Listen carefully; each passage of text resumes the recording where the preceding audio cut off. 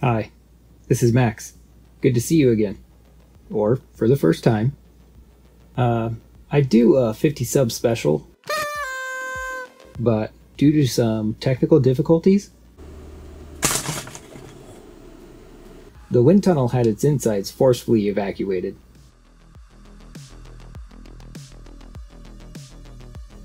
So while we wait for the insides to print, I think it'd be a good idea to find out what kind of power a Noctua fan can make.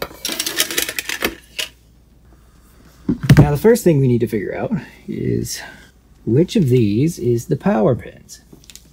Um, I'm gonna assume that the black one's gonna be ground and are we gonna get an AC output or a DC output? Nothing. Ooh, that might be something. Okay, maybe my assumption was wrong. Blue and yellow.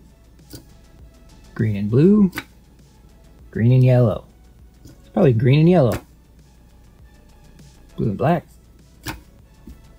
Nope. And black is good. Yellow and black is good. Maybe I should look up the pins. Oh. Nah.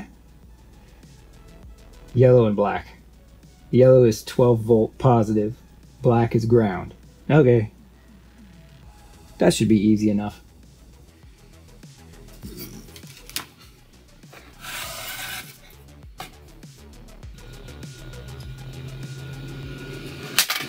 Where's my hot glue gun?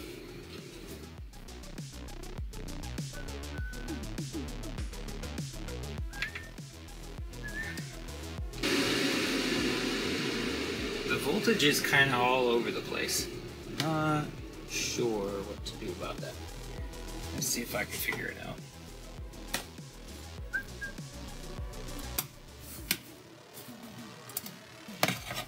Maybe if we run it backwards.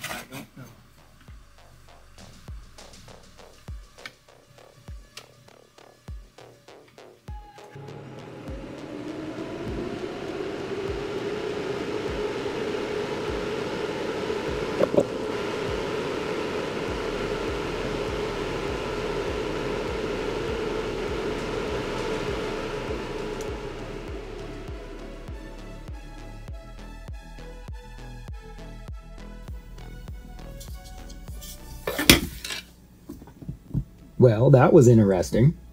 Um, it actually did better than I thought it would. It ended up producing 0.3574 um, in the wind tunnel, which puts it solidly in second place uh, after the exploding turbine.